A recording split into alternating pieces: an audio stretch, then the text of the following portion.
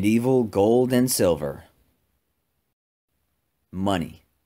It is classically defined as any circulating medium of exchange. These days, economists estimate that over 90% of money exists in digital form. But for many centuries, real physical gold and silver were the preferred vehicles driving commerce. Now, since abandoning the gold standard, we have further enabled social mobility and a higher living standard using debt as the pillar of our fiat system. But will we ever return to precious metals as a currency? And why do people even value metals in the first place? How did the desire for gold and silver shape history, from medieval times up to today? To answer these questions and more, we're here at Charles University, one of the oldest and most prestigious universities in all of Europe. Our guest, Professor Roman Zaoral, PhD, has invited us to the Humanities Department to give us a glimpse on what economies were like hundreds of years ago. And when you compare their problems to ours, you'll soon realize people never learn.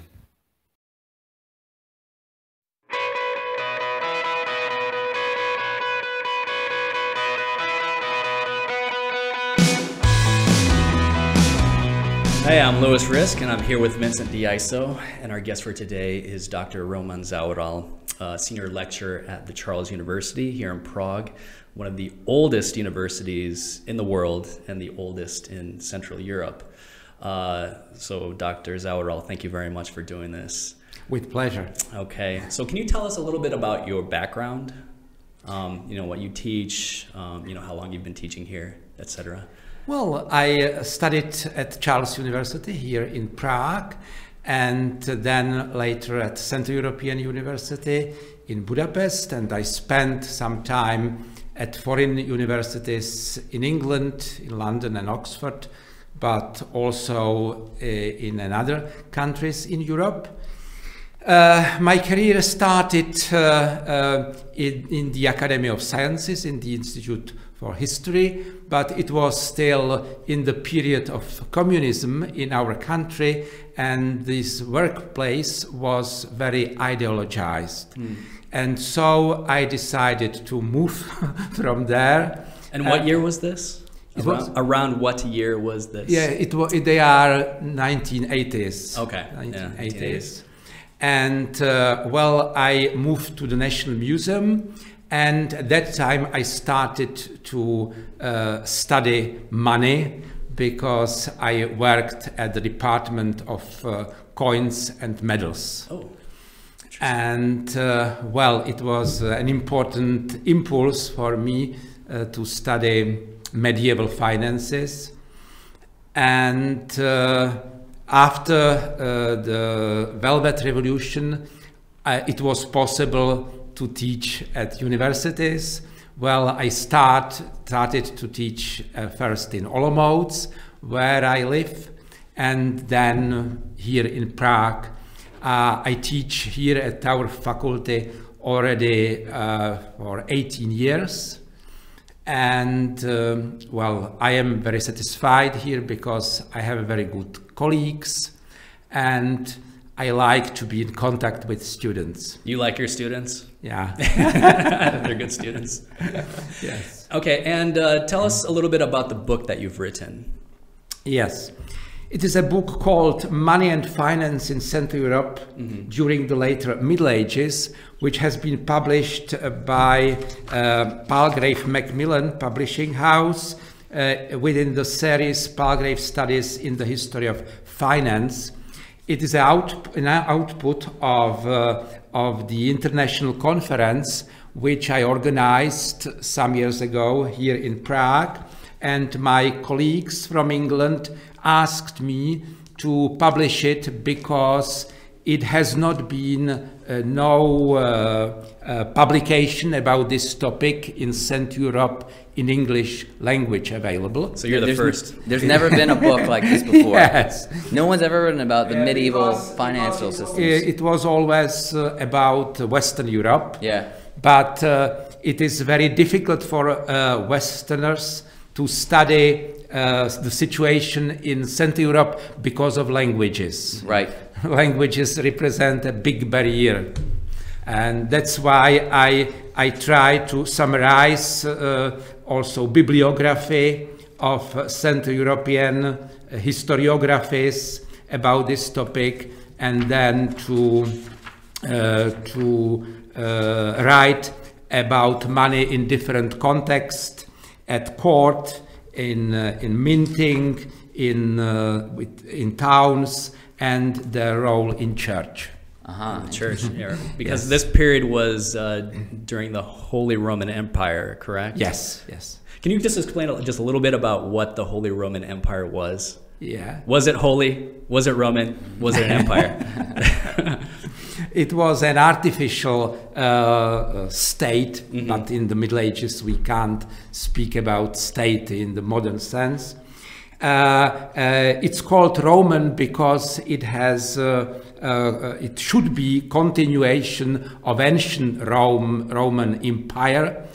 Uh, and it was a big territory which was connected only by the person of the ruler. Uh, the territory which covered uh, the territory from today's Netherlands up to today's Russia in Kaliningrad in the Baltic and from the Danish-German border to central Italy.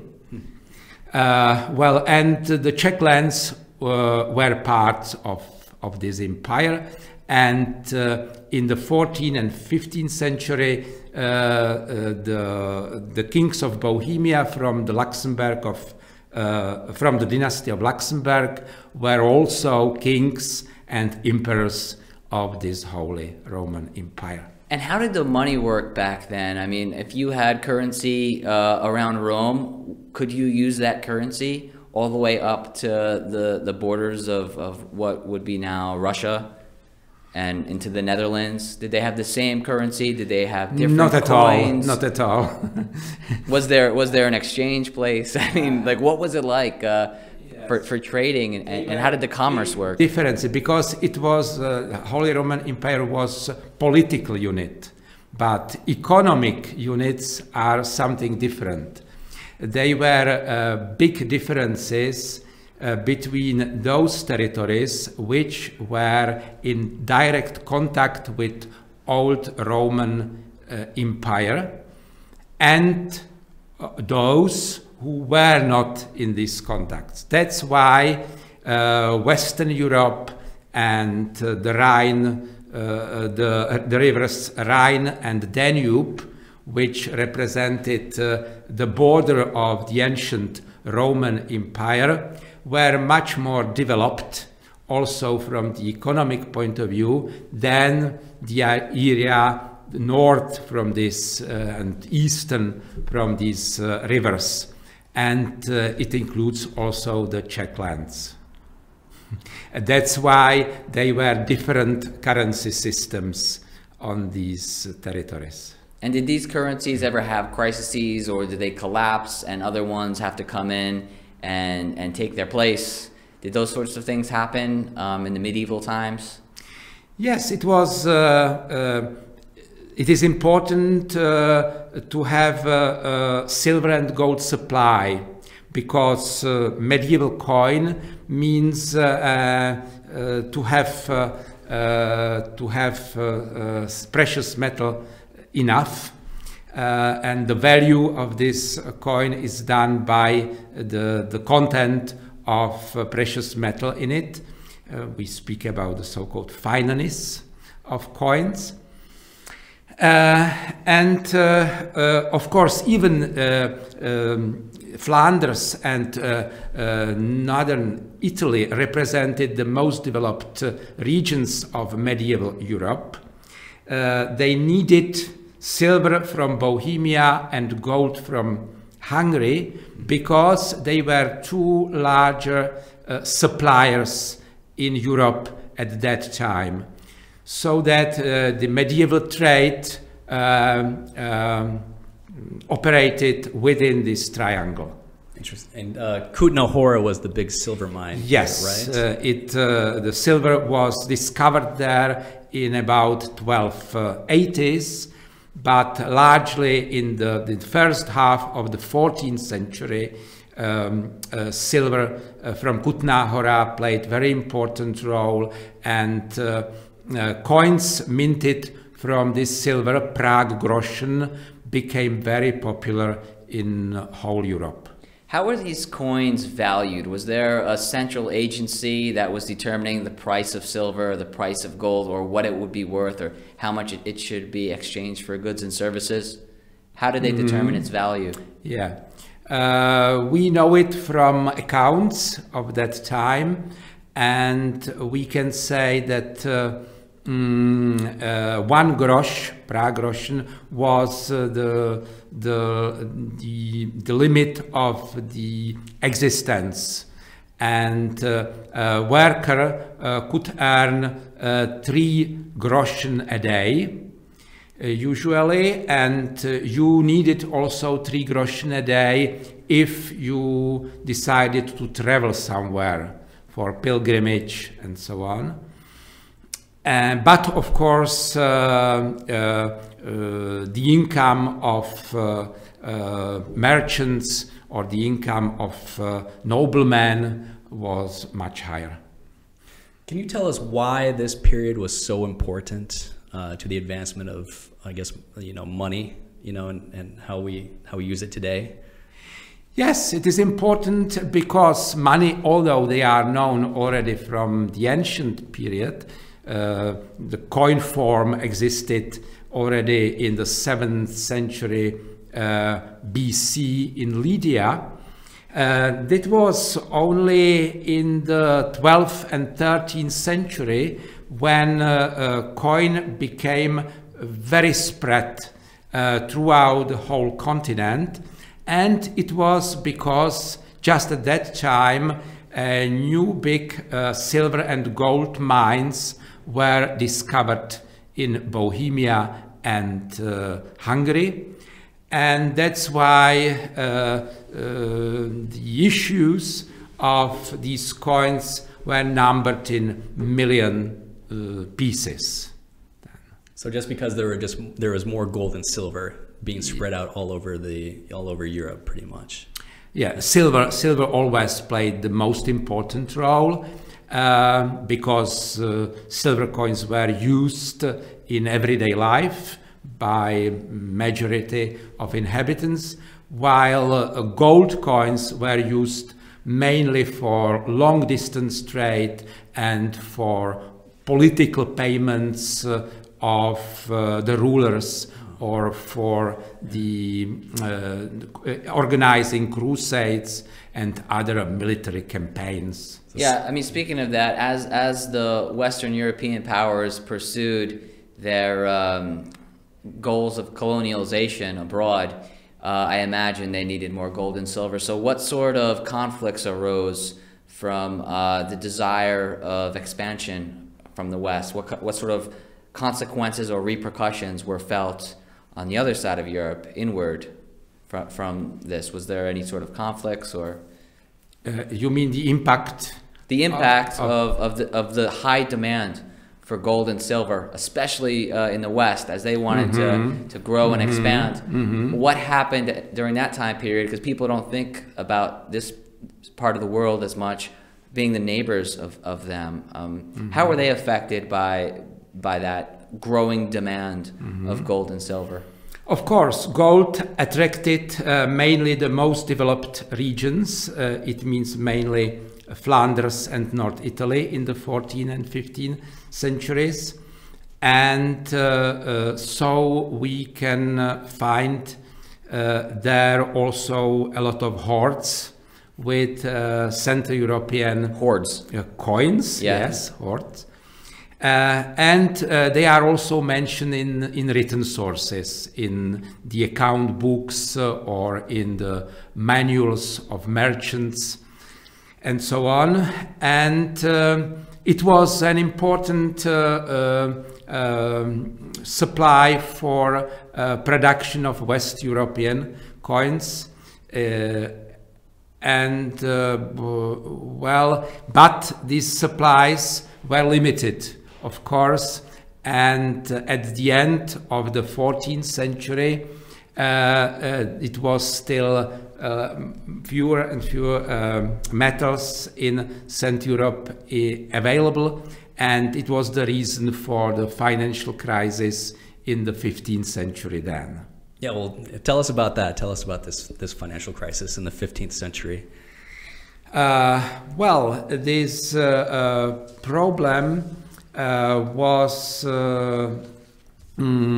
was of large. it was it was a big problem for the whole continent at that time because um, the trade, the volume of trade was still bigger and it was not uh, quality good uh, coins enough. Uh, uh so uh, uh, it, it is typical the debasement debasement of coins is a typical feature feature for this period it means the new issues of coins content less silver mm -hmm. than before. So, so, I mean, the economies across Europe were growing, and they needed more, just more silver, more gold. Yes. But there, were, yes. there was not enough silver or gold. Of course. So they they just made you know uh, coins with mm-hmm. fewer amounts. Mm-hmm. Did, did uh, who was in charge of this? Kings or who? yes, yes, okay. kings issued uh, these uh, uh, these coins, and but debased coins debased coins. Okay. What, what was the metals that they were? What were the metals that they were using uh, to replace the gold and silver? Uh, it was copper, copper. mainly, okay. yeah. or other uh, Something metals. that felt the same as yeah. gold or silver. Uh, and it was problem for ordinary people mainly because uh, if uh, the coin had the same image mm-hmm. and picture, it was not possible to recognize the quality of coins at yeah. first sight. It was known only to mint masters and merchants. So they knew that yes, the they were knew debased? It was oh. financial elite which knew everything about it. And everybody that. else had no idea. No idea. So what, what when did they find out? But they recognized it when they could buy less in, in the market. Oh, yes, the purchasing yeah. power was smaller than before. Interesting. So I'm already seeing a lot of parallels yeah. to today's economic yeah. problems yeah. with fiat currency and inflation. Yeah, yeah, yeah, It's interesting how that has been uh, computerized so, and digitalized. Yeah. Were there revolts by by the the citizens, or what what happened during this crisis? Uh, well, uh, the, the deepest crisis uh, is uh, connected with war uh, conflicts uh, on the continent, mainly with Hundred Years' War and the Hussite War in, in Bohemia. And um, the most critical situation it was in about uh, the 1420s. For example, French penny or Bohemian penny was very small value. In fact, it was uh, uh, uh, rather credit uh, money than than a, a, true money because it contained no no precious metal. In fact. Mm -hmm. So it's like a real penny. Yes. Today. Yes. Back then, a real penny would be considered counterfeit -huh. and pretty much worthless. So so when I try and think back in this time period, it's very hard to imagine. But were there like ebbs and flows, with you know highs and lows? Um, the economy was doing good, and then it was doing bad. Was there such a thing as a recession or a depression mm-hmm. back then? And if so, what did it look like, and how did they bounce back from these things? Mm-hmm. Well, it's typical for the whole economic development that uh, uh, it. Uh, functioned in uh, waves. And uh, uh, well, it was also influenced uh, by other factors like Black Death, for example. In Black the Death. Black Death. Oh, Black Death. The plague. In, in, yeah, in the yeah. 14th century, Yeah, sure. when a lot of people died, and it was not uh, uh, labor forces at all, uh, enough, and that's why uh, wages increased. Because everyone was dying. Yes. no, nobody could work. Everyone was dead. Increased demand for labor. which was Yeah, problem Interesting. for uh, for some uh, noblemen who had to pay more for labor than before Oh. and they bankrupted because of it because They they, didn't yeah. have money for that Wow. yeah it was very easy to bankrupt in the middle ages because uh, uh, the society was not prepared for some bigger uh, So- crashes yeah, exactly. Some crisis. It's, Mm, it's some more crisis. fragile. Um, so, so tell us about some of the other uh, financial crises that happened in Europe. Uh, um, I guess you know after the Middle Ages. Mhm. Yes, uh, we know about uh, the crisis already before, for example, in the 13th century, but later it was uh, it was uh, in the 16th century. That's another uh, important period uh, because of the discovery of America and uh, Europe was supplied by gold and silver Right. uh, from uh, Latin America, and it represented fl- represented flourishing period, uh, mainly for Western Europe. But uh, uh, then again, new crisis came at the end of the 16th and the beginning of the 17th century, which was then connected with 30 years war. Did did some of that crisis um, was that the result of too much silver and metal coming in from Latin America? Uh, you know, everything, uh, um, uh, mm, um, the prices and wages uh, were much higher than before. And we can speak about uh, um, big divergence in uh, Western Europe and little divergence in Central Europe. That's the period when the, the history of these two regions uh, uh, Split, right. uh, split. Uh, um, because the, the, the, the volume of means in Western Europe was much bigger uh, than here in Central Europe. Although here in Central Europe, new silver mines were discovered in Joachimsthal, where also new uh, form of coins were minted, the so-called thaler. And this thaler became so popular also in America that it's origin of today's American dollar. The thaler. Ah, yes. Thaler. thaler. The dollar came from the taler. Yeah, from thaler. Where was in- the taler in- exactly This is, uh, this is created? Austro-Hungarian Empire. uh, uh, yeah, it's it's uh, Western Bohemia. Western Bohemia. Bohemia in the taler. Ore Mountains, uh, uh, the city called Joachimsthal in German, Yeah. ja- Jáchymov in Czech, Yeah. and uh, it means the valley of uh, uh, St. James, Mm-hmm. James, and uh, this uh, from this Tal in German is the name for coin Thaler. Okay, Thaler. but but um, is is the taler? Was it just a, a paper receipt for for the coin, so you didn't have to?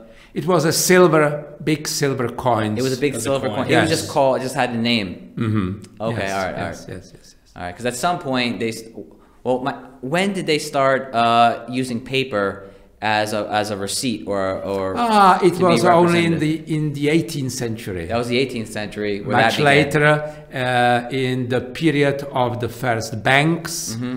uh, here in the region north of the Alps. Uh, but uh, the first banks uh, uh, came um, already originated already in the 12th and 13th century in Italy.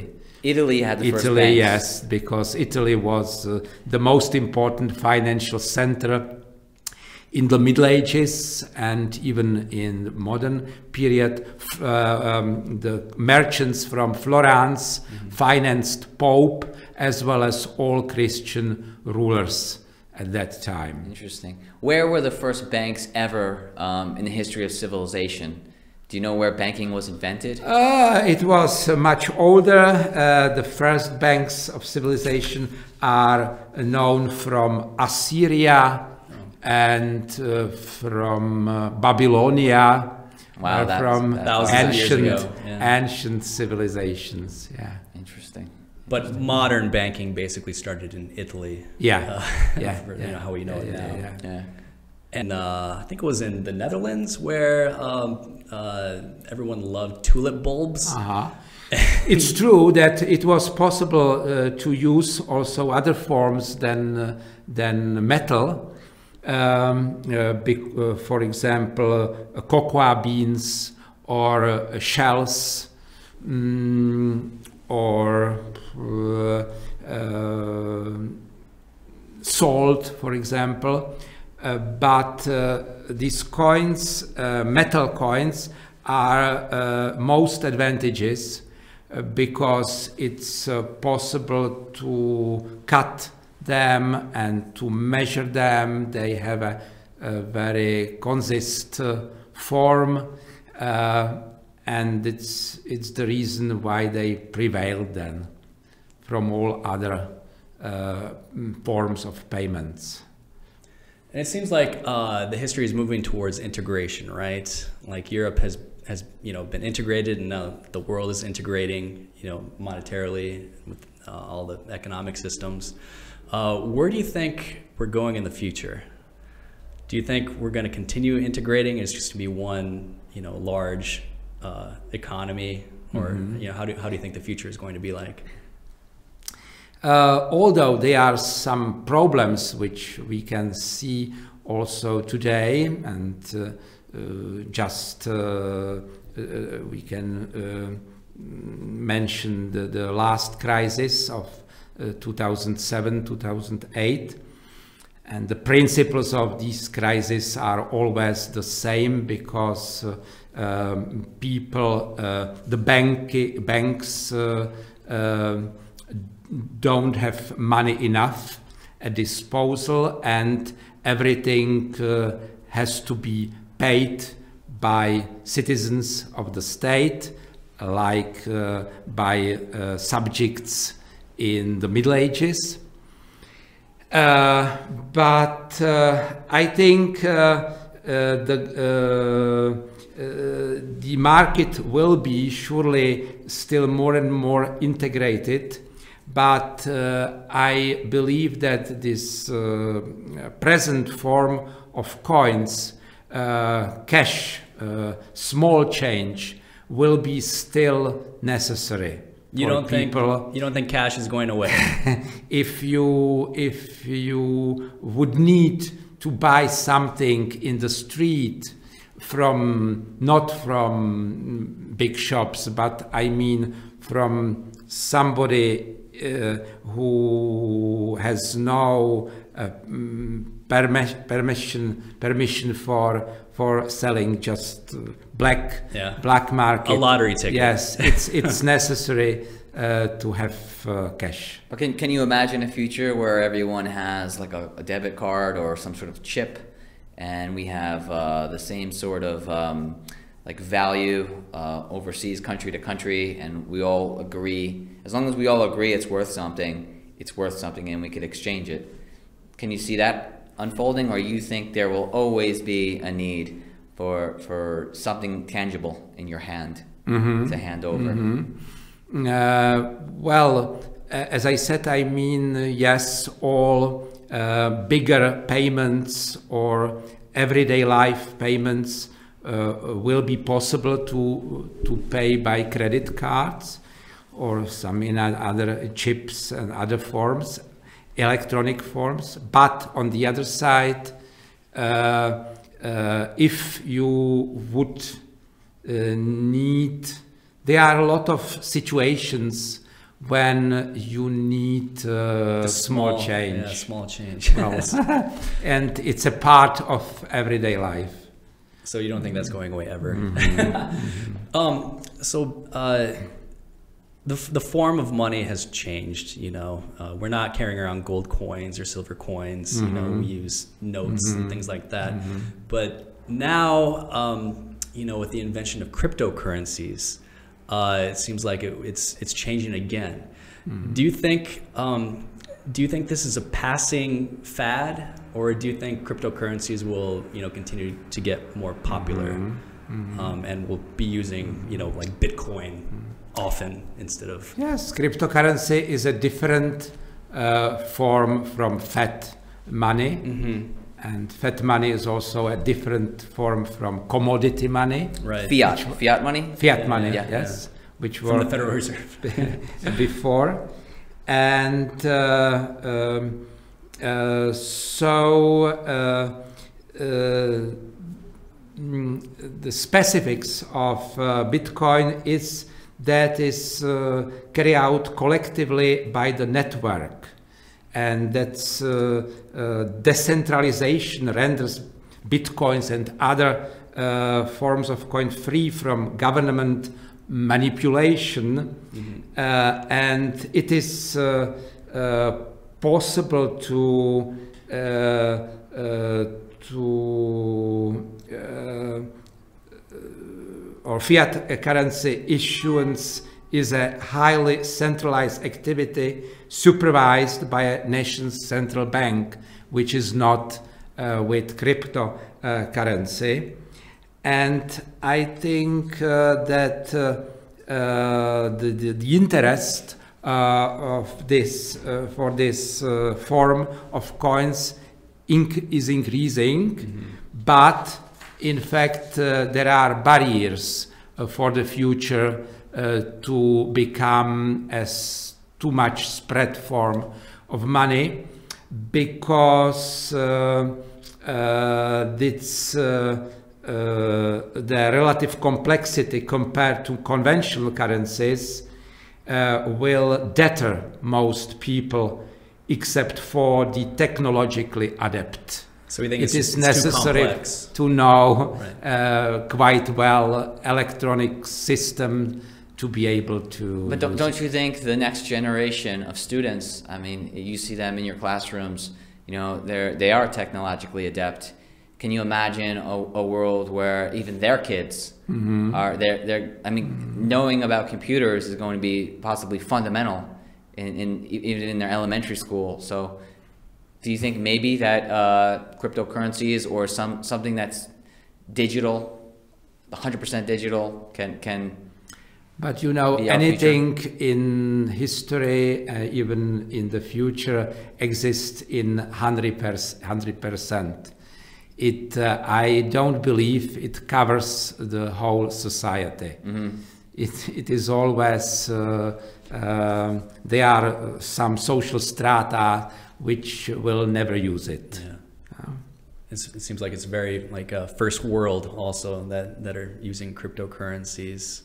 I mean, I, I don't I don't use Bitcoin. It is right. Connected with education and look Africa where so many alphabet uh, alphabets there still today.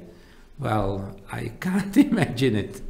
So you think? Uh, do you think cryptocurrencies will collapse because they just can't be used? Um, you know, globally, it'll just reach a point where um, you know it's just it's it's overblown, and then and then um, I think it will be one of uh, um, other forms of uh, currency, but so it could be used will simul- not- simultane- simultaneously with uh, with fiat Simultaneously. currency. Yes. Okay, so it'll Yes, be an option, fiat. but it won't overtake it, in your Mhm. opinion. Of I guess we'll course, see, right? I am no prophet, but I, I don't uh, believe so. Well, and what do you think about this idea of uh, borrowing money, using it, and then you know selling it on the back end in the form of a treasury bond? Do you think that's which is what we do now? Um, is that a sustainable system? Because as we, the years go on, the debt just accumulates and accumulates, and now the numbers are just so high Yeah. and it's not a even a system designed where you can pay off the debt. Um, is this a sustainable system? Do you think this will collapse at some point? What do you think is going to happen to our current system right now? Yes, the economic uh, economists has the idea about the eternal growth. Everything right. has Must uh, keep growing, be yeah. growing and growing all Yeah. the time, and uh, of course uh, we don't count on collapses very much. We are not prepared for them. But in uh, spite of that, we are still better prepared than people in the Middle Ages. And uh, uh, so, mm, So it- this- I don't yeah. believe to the eternal to the eternal growth.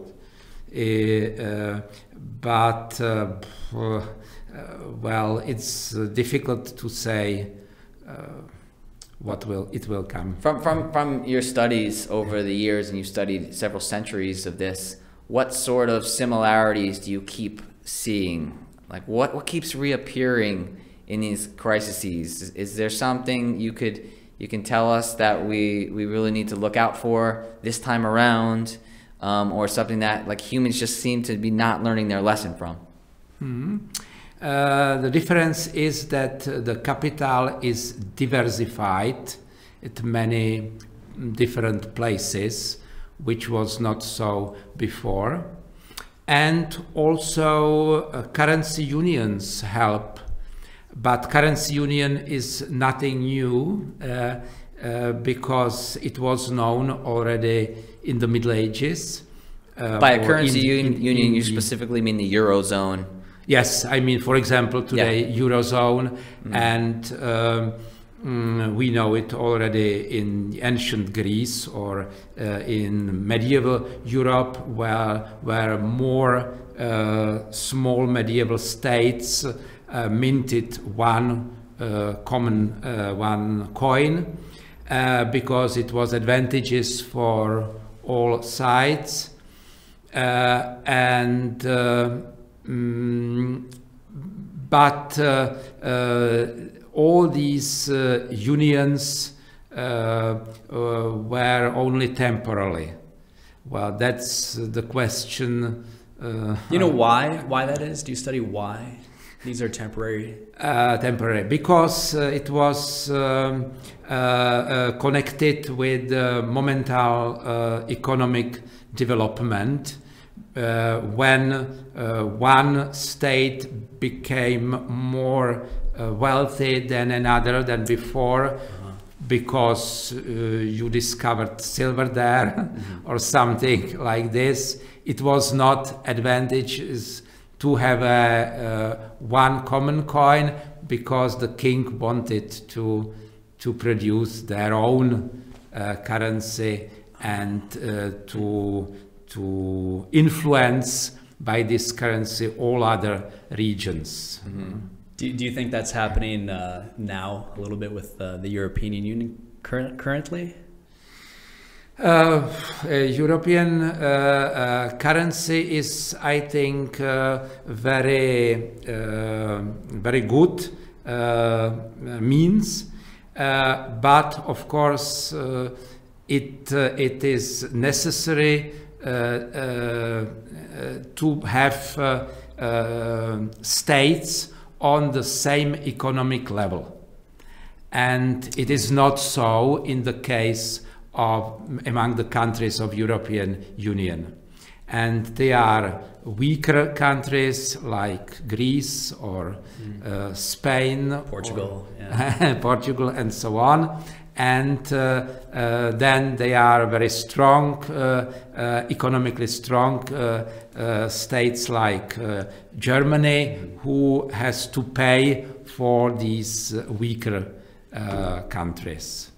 And uh, but it is a possibility how to uh, minimize these uh, differences between different European regions. Yeah, but that, that takes a lot of political will, right? I mean, you need political and, to... and it takes a lot of time also. Mm-hmm. Are you optimistic uh, about the, the euro and the monetary union in, in Europe? Uh, yes, yes. I'm quite optimistic. I, I noticed that gold has really stabilized over the last few years and the volume has decreased substantially, and I think silver as well. Do you think uh, in the next few years there will, be a, another gold rush? There's going to be a return to gold? You know, uh, present currency is not uh, covered by uh, gold uh, like it was before uh, because there are other possibilities. But um, gold uh, is or uh, precious metals play important role uh, still in the period eh, of crisis. When the economy goes down, then the value of uh, uh, precious metal goes high, is higher and higher. Well, that's uh, such um, um, secure security for the critical moments in the, the in the economic development. So when there's a collapse, yes, buy gold. Yes. and that's why it's necessary yeah. that the national banks would have uh, some sources of gold for critical periods. Do you think that will ever change? Yeah. Even in the future, do you think we'll still rely, or, or uh, central banks will still have gold do you think that will ever change in the history of humanity? You know. Uh, well, it's difficult to imagine. Uh, it's not possible to, to learn in this sense from history. Well, it has to be some new, absolutely new phenomenon, uh, like general use of these cryptocurrencies. Mm-hmm. But but you're pessimistic about this, right? but right? I am. There are a lot of barriers for that. Can you tell us why you think it's important to study these matters, especially for your students? Well, it's important for everybody to, uh, for their practical everyday life, to know how finance uh, uh works and uh, how to use uh, money and this uh, uh, how to behave during the uh, financial crisis, for example, and to understand the whole mechanism of uh, uh, the changing values of money, uh, I think it's very practical. And over the years of you teaching um, and, and writing books and, and, and studying yourself, can you tell us um, some of the most interesting things you've learned personally um, from this subject matter? Yes, uh, for me uh, it was interesting uh, to learn that uh, um, many bankruptcies uh, uh, were known already in old periods and that uh, people don't want to learn from history. because uh, uh, it uh, uh, uh, each society has its hierarchy and states were running into debt already 100 years ago like for example in the early 14th century Bohemia when the uh, bankers from Florence came to Prague and they uh, started to mint new form of coins, Prague groschen. Uh, and uh, uh, king and other uh, aristocracies lent money for interest from them but they did not want to pay then. Uh, and of course, it was then uh, the problem for banks uh, like today. and uh, all that, as I said, has to be paid by the subjects of, of kings in the Middle Ages. Mm, well, market was always regulated by state, and the largest bankruptcies uh, are connected always with wars and caused by totalitarian regimes. Because people living in a big insecurity usually accept simplified solutions.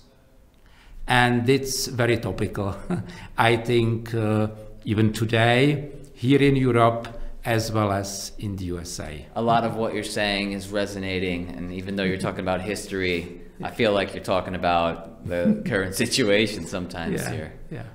Wow. And uh, what sort of advice do you have um, for any any students out there that are looking for something to study, um, and they might be interested in humanities, um, his, or history of money, or other classes you offer?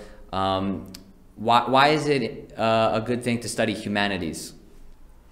Uh, I think it's a general view into functioning of society. Uh, when you should uh, decide at the elections whom to vote, then it's necessary to know a history at least of the past century because a lot of things uh, has uh, repeat repeat is repeating, uh, but uh, also on the different level.